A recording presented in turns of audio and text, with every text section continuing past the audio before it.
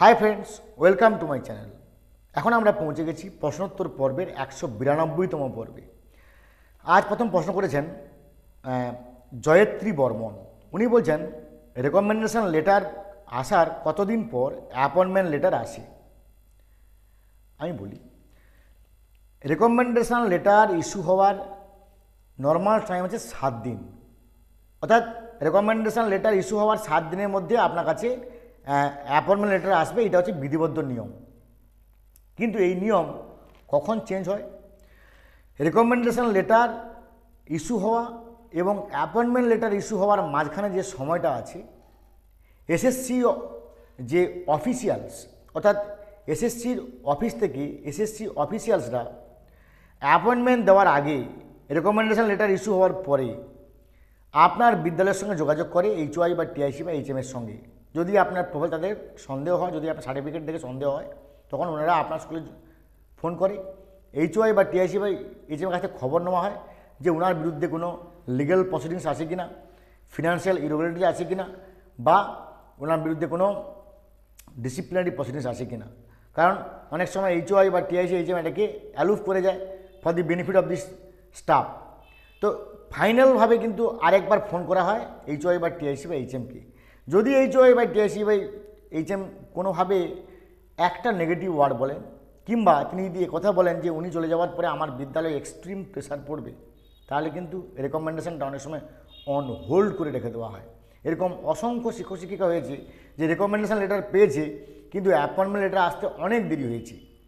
তো যদি এই ধরনের কেস না হয়, তাহলে সাত দিনে বেশি লাগা সম্ভব নয়।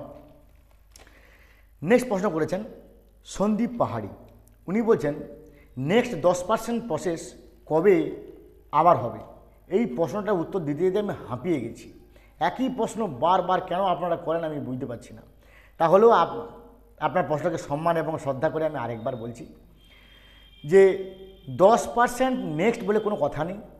সূত্রটা হচ্ছে until the vacancy is fulfilled আপনার বিদ্যালয়ে বাইশ জন শিক্ষক শিক্ষিকা আছেন কিংবা কুড়ি জন শিক্ষক শিক্ষিকা আছেন। আপনার স্কুল থেকে দুজন এনি আদার গ্রাউন্ডে ট্রান্সফার নিয়েছেন। রামবাবু, শ্যামবাবু, রামবাবু বাংলায়, শ্যামবাবু ইংরেজিতে। ততক্ষণ না পর্যন্ত রামবাবুর পোস্টে যদুবাবু আসছে, শ্যামবাবুর পোস্টে মধুবাবু আসছে, ততক্ষণ পর্যন্ত কিন্তু ওই বিদ্যালয়ে দশ পার্সেন্ট সূত্র ল হয়ে যাবে। অর্থাৎ এইচওআই বা টিআইসি বা এইচএম আর আপ- আপ- ওখানে থেকে কোনো আর কাউকে এনওসি দিতে পারবেন না। এনওসি দিলেই সঙ্গে সঙ্গে ডিআই কিন্তু আবার ব্যাক করে দেবে। কারণ দশ পার্সেন্ট সূত্র ভায়োলেটেড এই ভ্যালিড রিজন দেখিয়ে। তাই দুজন গেছে, দুজন এসছে। তার মানে আবার আপনার দশ পার্সেন্ট সূত্র আবার লাগু হবে। এছাড়া কিন্তু কোনোভাবেই লাগু হবে না। তাই নেক্সট তাই দশ পার্সেন্ট নেক্সট বলে কোনো কথা নেই, কারণ উৎসশ্রী একটা কন্টিনিউইং প্রসেস একটা কন্টিনিউয়াস প্রসেস এখানে কোনোভাবেই দশ পার্সেন্ট সূত্র নেক্সট এই এই প্রশ্ন কোনোদিন আসা উচিত নয়, কারণ এখনও পর্যন্ত উৎসশ্রী বন্ধ হয়নি, আর একটা কন্টিনিউইং প্রসেস নেক্সট প্রশ্ন করেছেন, দেবলীনা সিনহা। উনি বলছেন, নিয়ম তো অনেক আছে। এইচএম না দিলে পেন তো পাবে এটি। অর্থাৎ এইচএম যদি না দেয় এনওসি, তাহলে তো কষ্ট পাবে অ্যাসিস্ট্যান্ট টিচার। দেবলীনা দি, আমি আপনার সঙ্গে ঠিক একমত নই।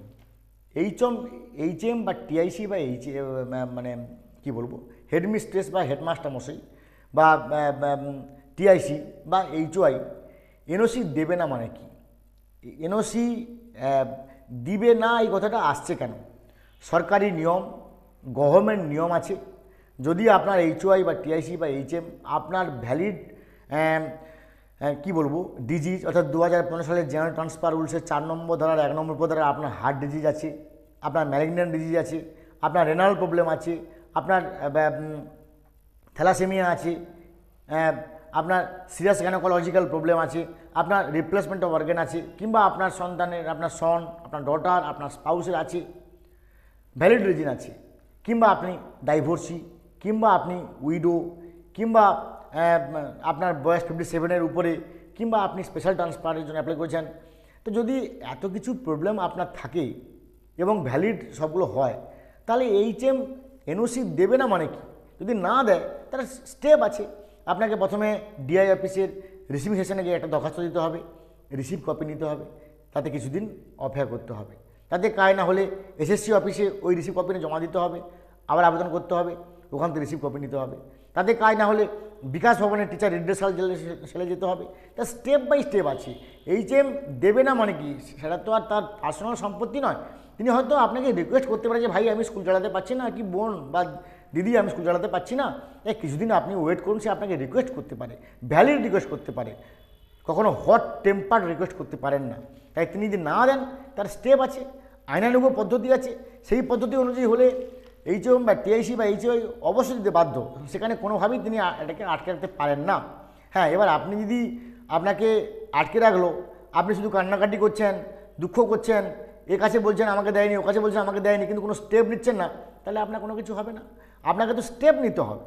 কারণ এই ধরনের দু সালের চোদ্দোই ডিসেম্বর এরকম জন শিক্ষকেরও বেশি এইচওয়াই বা টিআইসি, এইচএমকে ভৎসনা করা হয়েছে, নাস্তানুবাদ করা হয়েছে, তাদেরকে মনে করিয়ে দেওয়া হয়েছে যে দু হাজার পনেরো সালের জেনারেল ট্রান্সফার রুলসের চোদ্দ নম্বর ধারার কথা।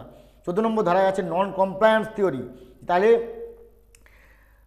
তাকে ডিআই ডেকে পাঠাতে পারে এসএসসি চেয়ারম্যান ডেকে পাঠাতে পারে এবং তার চাকরি টার্মিনেটও হতে পারে। তাই অবশ্যই দিতে বাধ্য। নেক্সট পয়েন্ট করেছেন, দুর্গা প্রসাদ মাইতি। উনি বলছেন প্রাইমারি দু বছর হয়নি। জটিল রোগ অ্যাপ্লাই হচ্ছে না। নট এলিজিবল দেখাচ্ছে। যদি আপনি প্রাইমারিতে ফ্রেশার ক্যান্ডিডেট হন, তাহলে আপনি অ্যাপ্লাই করতে পারবেন না যতদিন পর্যন্ত ফাইভ ইয়ার্স কমপ্লিট হচ্ছে বা যতদিন পর্যন্ত ফার্দার কোনো গভর্নমেন্ট অর্ডার আসছে। কিন্তু আপনি যদি কনজিকিউটিভ টু ইয়ার্স হয়ে যায় মানে ফাইভ ইয়ার্স পূর্ণ হয়ে যায় আপনি রামপুর স্কুলে ছিলেন, শ্যামপুর স্কুলে ছিলেন, যদুপুর স্কুলে এসছেন। Total service tenure five years পূর্ণ হয়ে গেছে। কিন্তু বর্তমান স্কুলে দু বছর না হলেও সেখানে কিন্তু আপনি অ্যাপ্লাই করতে পারবেন। কিন্তু যদি আপনি ফ্রেশার ক্যান্ডিডেট হন, সেখানে নট এলিজিবল দেখাচ্ছে মানে আপনি ফ্রেশার হিসেবে ফাইভ ইয়ার্স পূর্ণ না হলে অ্যাপ্লাই করতে পারবেন না। সেক্ষেত্রে আপনাকে অবশ্যই ওয়েট অ্যান্ড ওয়াচ করতে হবে। যে কারণ এখনও পর্যন্ত এর নিয়মটা এটাই আছে যে কনজিকিউটিভ ফাইভ ইয়ার্স না হলে অ্যাপ্লাই করা যাবে না, কিংবা যদি কোনো ফার্দার নিয়ম হয় আপনাদের হয়ে মানে for the benefit of the applicant incumbent medical গ্রাউন্ডে যাদের সদস্য একটা সমস্যা আছে, তার কিন্তু এই মুহূর্তে কিছু বলা যাচ্ছে না। কারণ আপনি এই মুহূর্তে অ্যাপ্লাই করতে পারবেন না, যতদিন না পর্যন্ত ফাইভ ইয়ার্স পূর্ণ হচ্ছে। নেক্সট প্রশ্ন করেছেন সুমিত কুমার বসাক। উনি বলছেন যে, আমার ছেলের ফিজিক্যালি হ্যান্ডিক্যাপ্ট রোগ আছে সিক্সটি পার্সেন্ট আমি কি মেডিকেল গ্রাউন্ডে অ্যাপ্লাই করতে পারব কিংবা ফিজিক্যাল গ্রাউন্ডে অ্যাপ্লাই করতে পারব? না। যে ব্যাপারটা বলছি, মন দিয়ে শুনুন।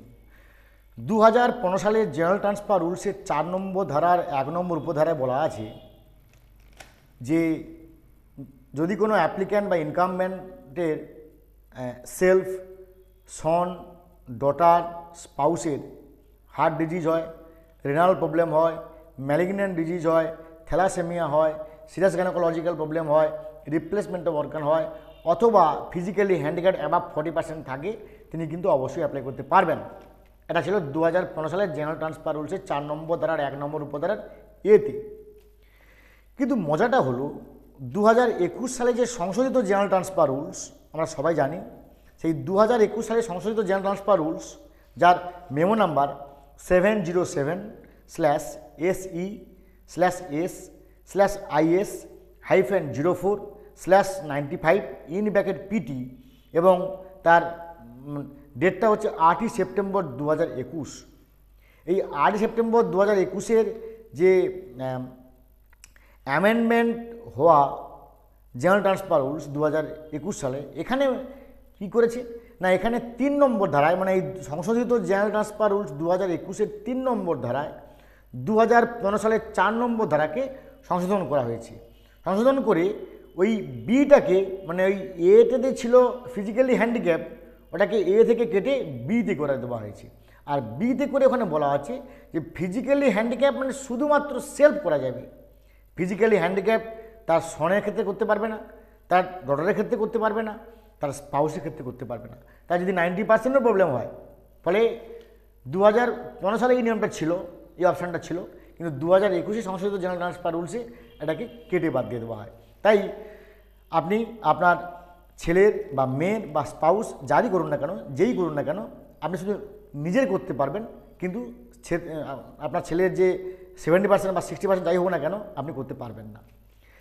আজকের শেষ প্রশ্ন করেছেন, গঙ্গা জীবন মাঝি উনি বলছেন জুনিয়র হাই স্কুল দুজন শিক্ষক অ্যাপ্লাই করে অ্যাপ্লাই করেছিলাম ব্যয় হয়েছি। কি করব? আমরা কি জীবন ট্রান্সফার পাবো না? আমি জানি মাস্টারমশাই, আপনার যন্ত্রণা, আমি বুঝতে পেরেছি গঙ্গা জীবন বাবু।